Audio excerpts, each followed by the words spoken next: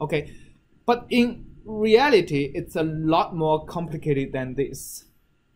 So for any system of equations, which means uh, uh, Navier-Stokes equation or uh, most of the equations uh, we actually solve in, in computational physics uh, actually are a system of conservation laws. And uh, computing what is f along the discontinuity is actually a equation dependent thing that uh, like, like the general term of computing which way the shock goes and uh, what is the flux at the next instant, right, of the evolution of the shock is called a Riemann problem. So, so basically you need to solve the Riemann problem for my f of i plus half. Uh, so this Riemann this Riemann solver and uh, in a lot of cases the approximate Riemann solver determines how good your computational solution is going to be.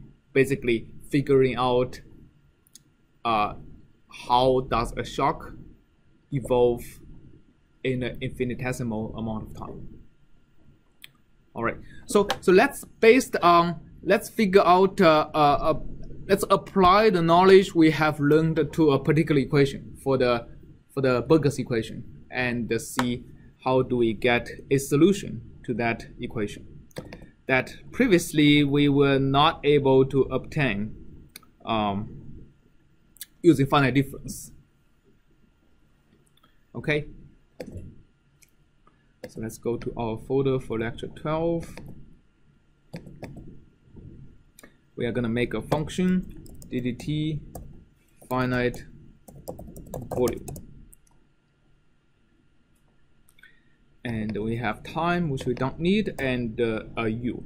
So this case my u contains the volume averages of my solution. Okay so let's first uh, get the length of u being the number of not grid points, but volumes, right? And uh, if we have a uniform uh, grid, then the delta x is the one uh, the length of the domain divided by the number of volumes. Okay, and then what's next is I want to compute my f, the flux so, okay, so the next thing, in order to decide uh, which, which f I'm going to choose, I need to compute the speed of the shock, right? In order to compute the speed of the shock, I need to compute my f. So I'll just uh, compute my f is going to be equal to, uh, for Burgers equation, let's figure out what my f is. So remember I have uh, du dt plus u times du dx equal to 0. So this is the Burgers equation I'm trying to solve.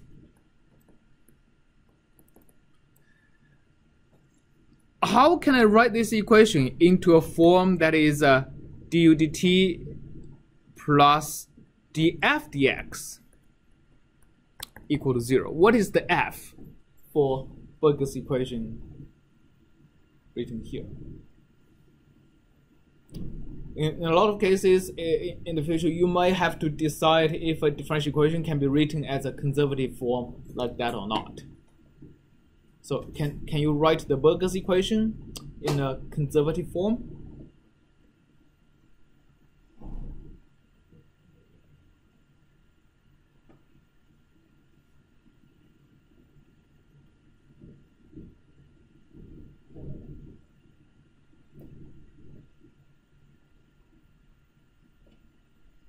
Yes?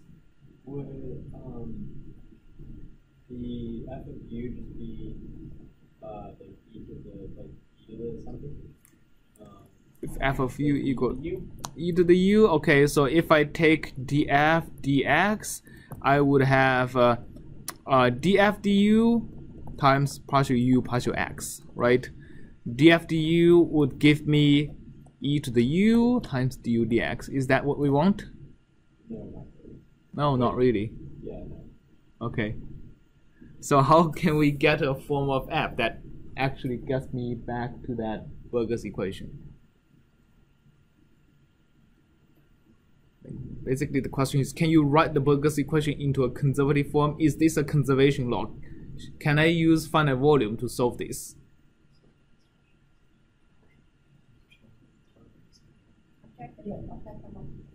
objective of that multiplication is like two times something that we can do two times like you want to do dot p all time is v prime Yeah, p plus v prime u and half a second bracket which is here.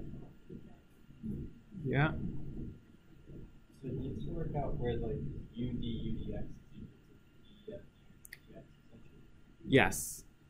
Or df du needs to be what? So zero. Wait. No. So, so this is what we want, right? Yeah. In general, we get dfu times du dx. What we want is u times du dx. So dfu needs to be what? Oh, it needs to be u. df du needs to be u, right? Yeah. What function has a derivative that is equal to its independent variable?